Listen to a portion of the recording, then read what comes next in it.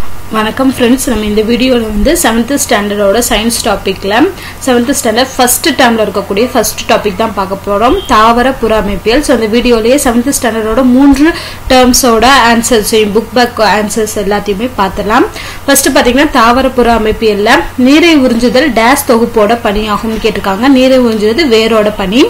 துளசி வந்து டேஸுக்கு உதாரணம் கேட்டிருக்காங்க. துளசிங்கிறது புதர் செடியாக வளரக்கூடிய ஸோ துளசி வந்து புதர் செடியாக வளரக்கூடிய ஒரு தாவரம். அடுத்து இலையை தண்டோடு இணைக்கும் உறுப்பிற்கு என்ன பெயர்னு கேட்டிருக்காங்க? இலை அடி பகுதி இலையையும் தண்டையும் இணைக்கும் உறுப்பு இலையடி பகுதி மலர் மொட்டாக இருக்கும்போது டேஸ் ஆக பாதுகாக்கிறது. டேஸை பாதுகாக்கிறது அப்படின்னா புள்ளி புள்ளிங்கிறது அந்த கீழே இருக்கும் இல்லையா? இதழுக்கு கீழே இருக்கிறது வந்து அந்த புள்ளி வட்டம் அப்படின்னு சொல்லுவாங்க ஸோ மலர் மொட்டாக இருக்கும்போது டேஸ் பாதுகாக்குங்கன்னா புள்ளி தான் பாதுகாக்கும். அது விரிஞ்சதுக்கு அப்புறம் தான் அந்த மலர் இதழ்களை அள்ளி வட்டம் அப்படின்னு சொல்லுவாங்க. ஓகேவா? டேஸ் நோக்கி காணப்படும் தாவர அசைவிற்கு ஒளிச்சார்பு அசைவு. இதுவே சொல்லியிருக்காங்க ஒளிச்சார்பு. அப்போ ஒளியை சார்ந்து வாழக்கூடியது. ஸோ ஒளி நோக்கி காணப்படும் தாவர அசைவிற்கு தான் வந்து ஒளிச்சார்பு அசைவு அப்படின்னு சொல்றாங்க. அடுத்து பாத்தீங்கன்னா ஒரு படம் கொடுத்துட்டு அதுல இந்த நாளையும் சு- எங்கெங்க இருக்கு அப்படின்னு சொல்ல சொல்லியிருக்காங்க.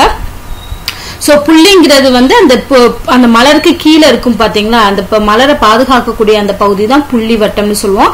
அந்த இதழ் வண்ணமயமான இதழ்கள் மஞ்சள் பச்சை சிவப்பு அப்படின்னு சொல்லி கலர் கலராக இருக்கக்கூடிய அந்த இதழ்கள் வந்து அள்ளி வட்டத்துக்குள்ள வரும். அடுத்து பார்த்தீங்கன்னா மகரந்த தாளுங்கிறது ஆண் உறுப்பு சூலக வட்டம்ங்கிறது பெண் உறுப்பு. சூலக வட்டம்ங்கிறது மேற்பகுதியில் இருக்கும். மகரந்த தாள் வந்து அந்த மகரந்த துகள்கள். எல்லோ கலர் மகரந்த மகரந்த துகள்கள் இருக்கும் இல்லையா? அது எல்லாமே மகரந்த தாள் வட்டத்தோட வரையுது. ஸோ நமக்கு ஒரு டயக்ராம் கொடுத்து கேட்டால் கேட்டாலும் ஆன்சர் பண்ண தெரியணும். ஸோ அதுக்காக தான் இந்த டயக்ராம் அடுத்து கீழே பார்த்தீங்கன்னா வந்து நீர் தாவரம். இது வந்து கொஷின் மாதிரி கேட்டிருக்காங்க. நான் ஒரு நீர் தாவரம் அப்படின்னு கேட்டிருக்காங்க. அள்ளி அள்ளி வந்து நீர் தாவரத்துக்கு எடுத்துக்காட்டு. சிறு செடிக்கு எடுத்துக்காட்டு கோதுமை புதர் செடிக்கு எடுத்துக்காட்டு துளசி. பாலைவனத்துல வளர்றது வந்து சப்பாத்தி களி. வேற எது வேணாலும் இருக்கலாம். ஸோ ஆப்ஷன் வந்து சப்பாத்தி களி. நான் ஒரு மரம் தேக்கு மரம். நான் தாவரங்களோட உணவு தயாரிக்கும் பகுதி. ஸோ இலை தான் வந்து ஒளி உணவை தயாரிக்கும். பச்சையம் இலையில உள்ள பச்சை மூலமா ஒளி சேர்க்கை செஞ்சு உணவு தயாரிக்கும். நான் ஒன்று கதிர் வடிவம் மாற்றுரு ஸோ கதிர் வடிவத்தில் இருக்கக்கூடியது வந்து பார்த்தீங்கன்னா முள்ளங்கி. கிழங்கு வந்து உருளைக்கிழங்கு. ஏறுகொடிங்கிறது வந்து மிளகு வந்து ஏறுகொடியா வளரக்கூடியது. ஸோ ஞாபகம் வச்சுக்கோங்க மிளகு வந்து ஏறுகொடியா வளரக்கூடியது. தூண் வேர்கள் இருக்கக்கூடியது ஆலமரம். அப்புறம் மிக முக்கியமானது தமிழ்நாட்டுல மட்டும் காணப்படக்கூடிய மலர் வந்து பனி குறிஞ்சி மலர். பன்னிரெண்டு வருடங்களுக்கு ஒரு முறை பூக்கக்கூடிய குறிஞ்சி மலர் வந்து நீலகிரி பக்கங்கள்ல பூக்கும். ஸோ இது வந்து தமிழ்நாட்டுல மட்டும்தான் இந்த மலர் காணப்படுது. ரொம்ப முக்கியமானது குறிஞ்சி மலர். அடுத்து பார்த்தீங்கன்னா பொறுத்துக. வாலிஸ் நெறியாருங்கிறது நீர்ல மூழ்கி வாழக்கூடிய நீர்வாழ் தாவரம். இலைத்துளைகள்ங்கிறது வந்து நீராவி போக்கு இலைத்துளைகள் வழியா நடைபெறும். அடுத்து முண்டு வேர் எதுல இருக்கும்னா கரும்புல. கரும்புல இருக்கக்கூடியது முண்டு வேர். இலை தொழில் தண்டு அப்படிங்கிறது வந்து சப்பாத்தி கள்ளி. ஏறுகொடிக்கு எடுத்துக்காட்டு மிளகு. சோ இதுதான் வந்து தாவர புற அமைப்பியல இருக்கக்கூடிய கொஸ்டின்ஸ் அடுத்தது பார்த்தோம்னா அன்றாட வாழ்வில் விளங்கியலின் இந்த டாபிக்ல பார்த்தோம்னா டேஸ் இலை பூச்சியிலிருந்து பெறப்படு இலை பூச்சியிலிருந்து பெறப்படுறதுன்னா பட்டி இலை தான் வந்து பூச்சியிலிருந்து பெறப்படுது அடுத்து பார்த்தீங்கன்னா டேஸ் பண்ணையில் வளர்க்கப்படும் பறவைனா கோழி தான் பண்ணையில் வளர்க்கப்படும். தேனீ கூட்டில் ஒரே ஒரு என்ன தேனி இருக்கும்னா ராணி தேனி தான் ஒன்னே நிறைய வேலைக்கார தேனீகள் இருக்கும். So, ராணி தேனி வந்து ஒண்ணுதான் இருக்கும். அடைக்காலத்துக்கு பிறகு கோழி முட்டை டேஸ் நாளுக்கு பிறகு குஞ்சு பொறிக்கும் குஞ்சு பொரிக்கிறதுக்கு எடுத்துக்கொள்ளக்கூடிய நாடுகள் வந்து இருபத்தோரு நாட்கள். ஆடுகளின் தோளில் இருந்து இருக்கும் அடர்த்தியான ரோமம் மனிதனுக்கு கம்பளி தயாரிக்க மேல போற்ற கம்பளி தயாரிக்கிறதுக்கு பயன்படுது. ஸோ மனிதனுக்கு தான் பயன்படுது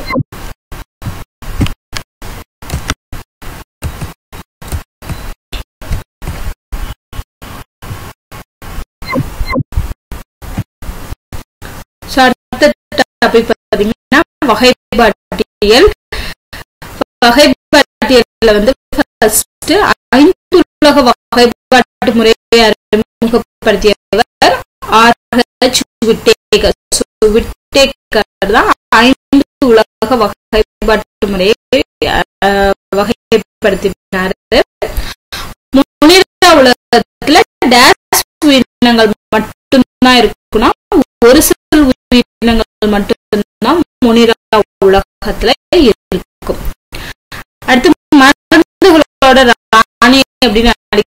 அழைக்கப்படுறது மருந்துகளின் ராணி தாவர செல்களில் காணப்படும் விலங்கு செல்களில் காணப்படுவதில்லை அப்படின்னு பாத்தீங்கன்னா செல் சுவர் வந்து தாவர செல்களில் மட்டும்தான் காணப்படும். விலங்குல காணப்படாது. விலங்கு செல்கள. ஒரே சட்டைவாங்கிறது இரு இருசொல் பெயரிடும் முறை. சோ நெல்லுக்கு தான் ஒரேசா சட்டைவா. அடுத்து பாத்தீங்கன்னா இங்க வந்து சில விலங்குகள் கொடுத்துருக்காங்க. அதோட தொகுதிகள் என்ன அப்படின்னு கேட்டிருக்காங்க. இப்ப நாடாப்புழு அப்படிங்கிறது தட்டைப்புழுக்களோட தொகுதியில வரும். அதே மாதிரி கடற்பஞ்சுங்கிறது துளையுடலிகள் அப்படிங்கிற தொகுதியில வரும். ஹைட்ராங்கிறது குழி உடலிகள் உருளைப்புழுக்கள் வந்து உருளைப்புழுக்கள் அப்படிங்கிற தொகுதியில வரும்.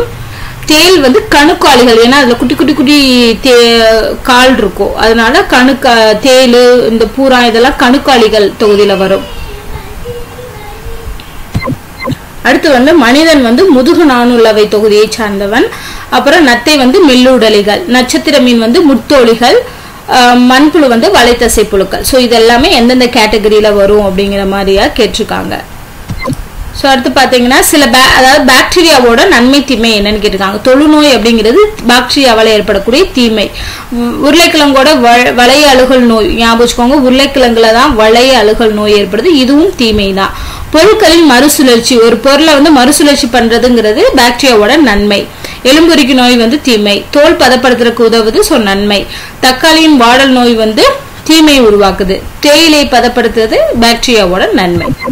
அடுத்து பார்த்தோம்னா நம்மை சுற்றியுள்ள பருப்பொருட்கள் அப்படிங்கிற டாபிக்ல இருந்து கீழே பாருங்க பொறுத்து கொடுத்துருக்காங்க. திரவத்தை வெப்பப்படுத்தினால் என்ன ஆகும் ஆவியாகும்.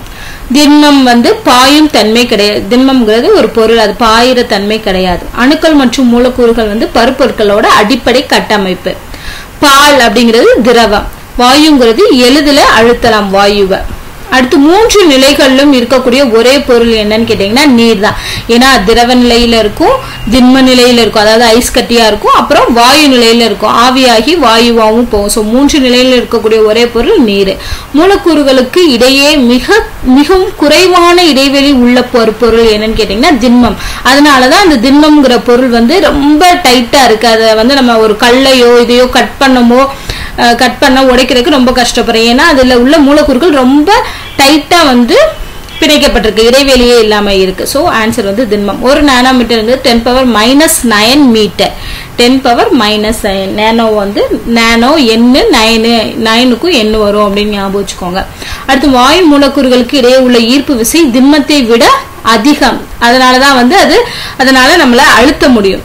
ஓகேவா? ஸோ மூலக்கூறுகளுக்கு இடையே உள்ள ஈர்ப்பு விசை வந்து திம்மத்தை விட எதுக்கு அதிகம்னா வாயு மூலக்கூறுகளுக்கு அதிகமாக இருக்கும்.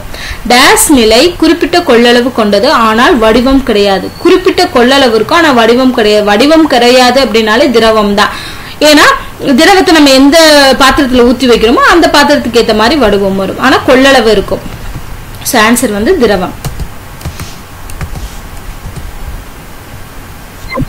அடுத்து பார்த்தீங்கன்னா இந்த இயக்கவியல் டாபிக்ல நிறைய சம்ஸ் தான் கொடுத்துருக்காங்க. அதை நம்ம தனியா பார்ப்போம். இதுல வந்து முக்கியமா ஒன்று கொடுத்துருக்காங்க. அதாவது தொலைவுக்கும் காலத்துக்கும் இடையே ஒரு கிராஃப் போட்டிருக்காங்க. என்ன கொடுத்துருக்காங்கன்னா கொடுக்கப்பட்டுள்ள வரைபடம் பேருந்து ஒன்றின் இயக்கத்தை குறிப்பதாகும். இதை கொண்டு பேருந்தின் இயக்கத்தை விளக்குக. ஃபர்ஸ்ட் ஏல இருந்து பி வந்து ஒரு வளைவா போயிருக்கு. அப்புறம் பி டு சி வந்து நிலையா இருக்கு. அப்புறம் சி டு டி வந்து மேலே ஏறி இருக்கு. இந்த மூணும் என்ன குறிக்குது அப்படின்னு கேக்குறாங்க. சோ ஏ டு பிங்கிறது வந்து மாறுபடும் வேகத்தை குறிக்கும். கூட குறைய இருக்கிற மாதிரி இருக்கிறதுனால ஏ டு பி அப்படிங்கிறது மாறுபடும் வேகத்தை குறிக்கும். ஸோ பேருந்து வந்து மாறுபடக்கூடிய வேகத்துல சென்றுகிட்டு இருக்கு பி அண்ட் சில வந்து நிலையா போகுது. ஒரே ஸ்பீடில் போகுது. சாரி நிலையா இருக்கு. ஓகேவா ஸோ எந்த ஒரு ஸ்பீடும் இல்லாம நிலையா இருக்கு. அடுத்து சிஎன்டியில் பார்த்தீங்கன்னா ஸ்பீடு வந்து இன்க்ரீஸ் ஆகிக்கிட்டே போகுது இல்லையா? சீரான வேகத்தில் போய்கிட்டு இருக்கு. ஓகேவா ஸோ அப்போ மூணு வந்து எதை குறிக்குது அப்படின்னு ஞாபகம் வச்சுக்கோங்க. A B A to B வந்து மாறுபடும் வேகம் பிசிங்கிறது நிலையாக உள்ள வேகம் சிடிங்கிறது சீரான வேகம். ஸோ இந்த மாதிரி டயக்ராம் கொடுத்து என்னன்னு கேட்டாலும் நமக்கு எழுத தெரியணும் இது வந்து செகண்ட் டேம்க்குரியது ஃபர்ஸ்ட் பாடம் வந்து மனித உடல் அமைப்பு மற்றும் இயக்கம். இதயத்தில் மட்டும் காணப்படும் ஒரு சிறப்பான தசை எது? இதய தசை. அடுத்து நமது உடல் உள்ள எலும்பு மண்டலத்தில் எத்தனை எலும்பு இருக்குன்னா இருநூத்தி ஆறு எலும்புகள் இருக்குது. அடுத்து நாளமில்லா சுரப்பிகள் சுரக்கக்கூடிய வேதிப்பொருள் என்னன்னு கேட்டீங்கன்னா ஹார்மோன்கள். ஸோ ஹார்மோன்கள் தான் வந்து நாளமில்லா சுரப்பிகள் சுரக்கும் வேதிப்பொருள்.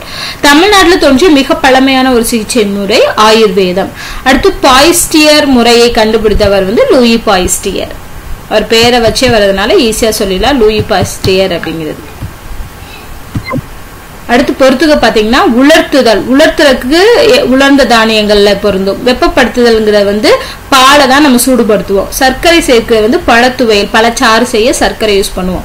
குளிரூட்டுதல் அப்படிங்கிறது வந்து மீன். மீனை வந்து ஐஸ்ல வச்சிருப்போம். அதனால குளிரூட்டுதல். துரித உணவுங்கிறது வந்து அமைதியா கொள்ளக்கூடிய விஷம். ஸோ அடுத்த படம் பார்த்தீங்கன்னா தாவரங்கள் மற்றும் விலங்குகள் சுவாசித்தல். இதில் வந்து ஒவ்வொரு விலங்கினமும் என்னென்ன சுவாச உறுப்பு கொண்டிருக்கு அப்படின்னு கேட்டிருக்காங்க. கரப்பான் பூச்சி வந்து காற்று துளைகள் மூலமா சுவாசிக்குது. தவளை வந்து தோல் மூலமா ஏன்னா அது வளவளப்பான தோல் மூலமா சுவாசிக்குது. சாரி தவளை வந்து நுரையீரல் மற்றும் தோல் மூலமா ரெண்டுமே ரெண்டு மூலமாவும் சுவாசிக்கிறது தான் தவளை. மீன் வந்து செவல் மூலமா மண்புழு தான் தோல் மூலமா வந்து சுவாசிக்கும். நாய் வந்து நம்ம மனிதன் மாதிரி நுரையீரல் மூலமா சுவாசிக்குது. ஸோ இதை டிஃப்ரெண்டா இருக்குதுன்னு பார்த்தீங்கன்னா கரப்பான் பூச்சி வந்து காற்று துளைகள் மூலமா தவளை வந்து நுரையீரல் மற்றும் தோல் மீன் செவல் தெரியும் மண்புழு வந்து தோல் மூலமா சுவாசிக்கிறது. ஸோ அதுதான் கொஞ்சம் வித்தியாசமா இருக்கு. அடுத்து பார்த்தீங்கன்னா நாம் சுவாசிக்கும் காற்றில் அதிகம் காணப்படுவது என்ன? உயிர்வலி உயிர்வலிங்கிறது ஆக்சிஜன். ஸோ ஆக்சிஜன் அதிகமாக இருக்கனால தான் நம்ம சுவாசிக்கிறோம். காற்றற்ற சுவாச முறை காற்று இல்லாத சுவாச முறைக்கு வந்து காற்றில்லா சுவாசம் அப்படிங்கிறது பேரு. தாவரங்கள் வந்து எதன் மூலமா சுவாசம் செய்யுதுன்னா அந்த இலையில் உள்ள துளைகள் மூலமா தான் தாவரங்கள் சுவாசிக்கிறது. ஸோ தாவரங்கள் வந்து இலைத்துளை மூலமா சுவாசிக்கிறது. அடுத்து பார்த்தீங்கன்னா ஒரு ஈக்குவேஷன் மாதிரி கொடுத்துருக்காங்க. ஸோ குளுக்கோஸ் ப்ளஸ் உயிர்வலி உயிர்வலினா ஆக்சிஜன் குளுக்கோஸும் ஆக்சிஜனும் வினை புரிந்து கார்பன் டை ஆக்சைடையும் நீர் மற்றும் ஆற்றலையும் தருகிறது.